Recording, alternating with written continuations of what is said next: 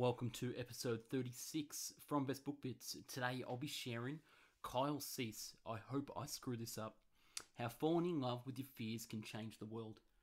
This book was published in 2017 and weighing in at 256 pages.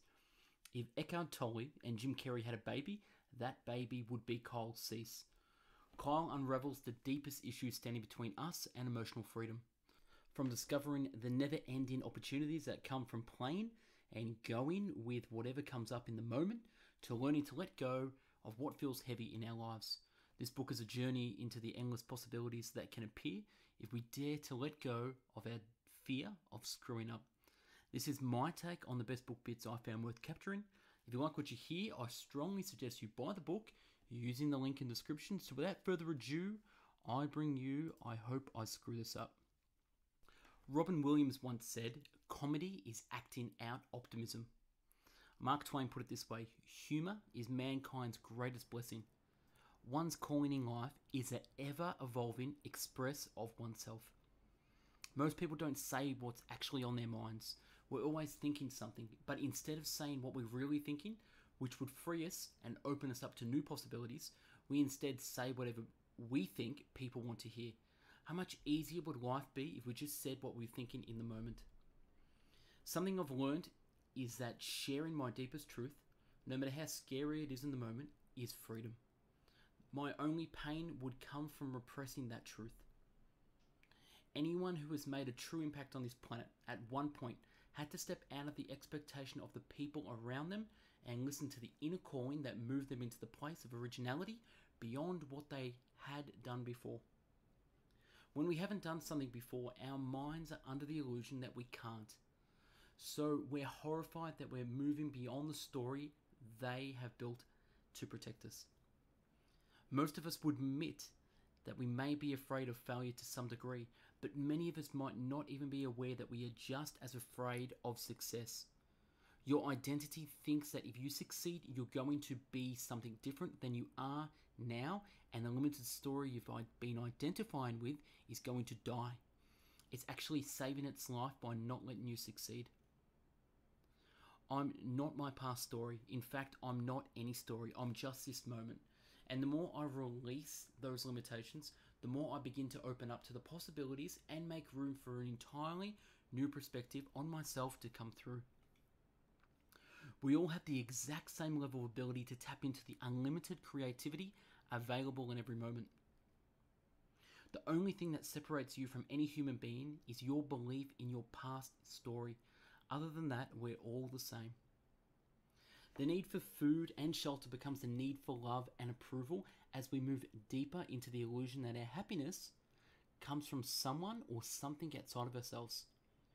Even once we're adults and providing food and shelter for ourselves, we're still constantly looking for someone, anyone outside of us, to take the role of the provider of our love and well being. Someone who would tell us we're good, that we're loved. It's a matter of survival. The mind might never understand why falling in love with not knowing is one of the greatest ways to access the place of trust, and it doesn't have to understand. Our minds are brilliant tools of being given to use in collaboration with creativity in our hearts. But many of us are living exclusively from our heads and have cut off the infinite wisdom of our souls. I've learned that the wisdom that comes out when you're selfishly helping someone else is also truly the wisdom that you need to hear. When you step into opportunity, you cut off the fear. When you step into the fear, you cut off the opportunity which means if you step into what your heart says, you cut off the worry of your mind. If you step into the what your head says, you cut off the guidance of your heart. Your mind sees your worth only according to what you currently are, based on the evidence you have from them from your past, instead of the potential of what might become if you followed your calling. You can always measure what you'll lose, but you can't see what you'll gain listening to the calling within yourself instead of looking for external guidance. It's easy to alcohol or food, but an addiction to getting approval from the outside world is a lot tougher to see. The truth is, none of our emotions are bad. Not sadness, not fear, not negativity. It's not about getting rid of our sadness, it's about becoming a big enough space that we can totally accept and love every part of ourselves. It's not about avoiding the dark and moving toward the light. The amount of light that we can bring into the world is equal to the amount of darkness that we can accept and love. We're not here to feel happy, we're here to feel fully. Allowing yourself to fully experience every emotion that you feel is the gateway to actual transformation. There is no emotion, experience, or situation that is bigger than what you are. You are capable of growing beyond anything if you're allowed yourself to be with it. When we let go of something that is taking up space in our lives, we make room for something else to come in. When your intention beats habit, you win the game of life. One of the most basic illusions that we are under is that we believe we are whatever we are experiencing. I am sad, I am happy, I am poor, I am sick, I am young. Those things aren't what you are. They are just circumstances on the surface of your life. What you actually are is beyond all of that. Anytime you do something positive or different from the masses, some people think you're in a cult. While they might not automatically assume you're in a cult, but the point is, when we do something out of the norm, we're often met with resistance from people in our lives who don't want us to change. Many times people get scared when someone close to them changes or does something different because they are afraid to change themselves. The mind loves to come up with its own problems and solve the problem that it just created. It's actually how it creates the illusion that it's in control. You are what you love, not what loves you. When you were a kid, you did just what you loved to do, no matter what anyone else thought of you. In that place, it doesn't matter what someone else's opinion of you is, you have something deeper that is moving you. That level of freedom is still available to all of us if we go back to doing what we just love because we love it. Not because we think we can get love from someone outside of ourselves. Basically, you're only you only care about what someone else thinks about you where you're in your head because that's the only place an opinion exists. When you're in your heart, you're just creative, love, and effortless expression. What people think about what you're doing doesn't even register. How lost we are in our stories of our lives, and how these stories are really just a lie. I was totally trapped in the belief that I had to protect my story of who I was, and as soon as I stepped out of that belief, I experienced true freedom for the first time. My happiness and fulfillment are based on my work going outward, not what comes back to me. True happiness comes from sharing love, not from getting love. Out happiness is not in anything external. Nobody and nothing has control of your happiness. If you think you need something for you to be happy, you make that thing your God. You are naturally happy in the absence of the belief that you need something outside of yourself to get happy. When you live in this place of natural self connection, the side benefit is that you become totally creative and insightful, and things start to happen for you. You become a magnet for other circumstances and relationships that reflect the happiness that you have inside. You start to attract thoughts and ideas that access new opportunities that will match your level of alignment. The beliefs I'm not enough, my happiness is outside of me, and I don't deserve love are just illusions that block us from our own true happiness. I realized that there were layers and layers of habits and addictions in my life that were keeping me away from that feeling of unlimited joy. I was in a completely new reality where instead of trying to pile on achievements and material possessions, I was on a mission to release myself from needing any of that stuff. We can't ever allow something new to come into our lives until we make room for it. Learning to make decisions based off me and myself versus me and my circumstances. We rarely connect to ourselves. We never listen to what we actually want. And because we are confused about what we want, life gives us back the confusion we're unconsciously requested. We do what we think we should do and we don't honor what our bodies say they want to do. Bob Proctor says, the less replaceable you are, the more you're worth. Everything you desire will fall into your lap if you just let it. Nobody understands your calling but you. When you feel a calling inside yourself, you just have to do it. You can't check in with other people because they aren't feeling what you're feeling. Very often, we keep things that we think will get us what we want, but they actually keep us from getting what we truly want. Your job is to feel the love in you, beyond whatever circumstances your mind is saying you need to have for you to be happy. This life is a playground, it's not a multiple choice exam. You can't screw this up. Listen to your body, take the leaps that are scary and exciting and the calling from your depth of your soul, and watch how the world unfolds in front of you. We're always looking for reasons in our external circumstances to prove why we shouldn't be happy. Being selfish in a universal way means you are making yourself a priority so you can overflow your power, love, and compassion onto the world. What we are is way beyond any of the boundaries that we've boxed ourselves into, and knowing this allows creative ideas and visions for the future to come in from that out of the box place. We're now moving with the flow of life instead of against it. We're letting ourselves be pulled by inspired ideas and moving into action in the most effortless ways, which allows us to create even more impact in the world than we ever thought possible. What if deep down wasn't a place to live and it was actually just what you were? If you choose to see the thought as a little child and you just tell that thought you, that you hear it and love it, it will go away. Really picture that when that thought comes up as if it's a child who said it to you.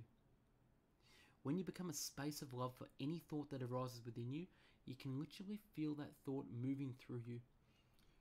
Your true acceptance of a passing thought is actually what allows it just to keep passing through. A great exercise I do with the people I work with is to say any fear based thought that's coming up and then say, I love that right after it. If you allow a thought to show up and consciously acknowledge it and give it love, you short circuit the pattern of resistance that keeps those kinds of thoughts active. What you learn cannot be unlearned. Everything that arises in the moment becomes an opportunity for you to grow and expand into even more of yourself. At a certain point, you really start to understand that the true value we receive in any situation is actually the internal growth that brings us closer to knowing that we are just love. In every moment, you make the choice to either move into the illusion of yourself or move into the love you actually are. Every step you take is either moving you towards the ice cube or moving you toward the ocean. A leap can be scary, but on the other side of it is growth and new opportunities that you can't see until you take the leap. Even though it's actually the easiest thing we can do, moving into being is really the ultimate leap. Taking a leap like quitting a job you hate or leaving a relationship that feels heavy can be scary because the, the mind's protection mechanism wants you to keep safe from the unknown. But true fulfillment will never come from that illusion of safety of the mind tried to create for you.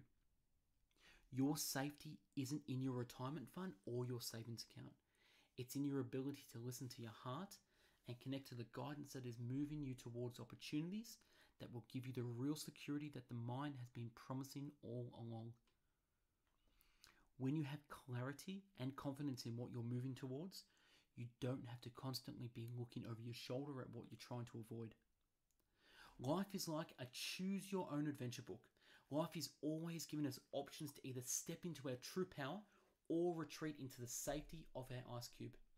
It's not about the thing, it's about honoring what you feel in the moment. The more and more I learn to trust the, that light feeling I experience in my body, the more I'm able to make effortless decisions based on my actual guidance instead of the addictive desire of my mind. When you take time to connect to yourself, the unlimited creativity that we all made of just starts to seep into your life and transform everything you do. When you start doing this, you almost can't tell how you've changed because everything has changed. The only difference between you and everyone else is the story in your head. This sounds crazy to the mind because it's in a separation machine. From the mind to survive, it has to be separate from everything and everyone it sees so it can maintain its individual story. When we move beyond the mind, we enter a dimension where we see how much of a lie that actually is. Our bodies and minds are like individual rivers that flow to and from the same ocean. The mind loves to convince us that one thing is better than another, that life is better than death, that happiness is better than sadness, that a sunny day is better than a rainy day. Challenge yourself to investigate all the beliefs that your mind has created and see if there is another perspective. Beyond the mind, that might offer you even more freedom. You know you're in a why when the idea you have helps other people. Michael Beckwith once said, When you work for the universe, you're never unemployed. Once you start giving from a why, you won't believe how many of the things you wanted before will start to show up naturally. If you really want to get all the things that you desire, shift to giving. If you don't see any results, that's because you're still trying to get. You need to truly surrender your getting and move into an infinite place of abundance and giving in order to tap into the flow of life that will provide you with everything you need. You've got to make sure that you're not trying to give so that you can get. When you live in your heart, sometimes people who live in their heads will not feel worthy of being around you. This is how the universe pre rejects people who don't align with your soul, so you can make room to only be around people who do. This place of connection to ourselves and allowing a why to come through is the most important part of creating anything in your life. You are learning to follow the feeling, not the reason. From now on, the feeling is the reason. The most important asset you have is your ability to consciously live in the high vibration of excitement. When you're in that high vibration of excitement, you release that everything in working together and nothing is in conflict. You're not here to get to an endpoint.